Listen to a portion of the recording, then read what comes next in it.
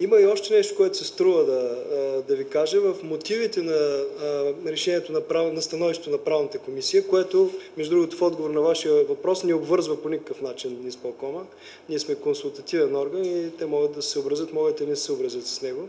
Та в мотивите сме записали нещо, което поради необходимостта от краткост на прес-релиза на Футболния съюз не беше отразено в този прес-релиз за решението на правната комисия.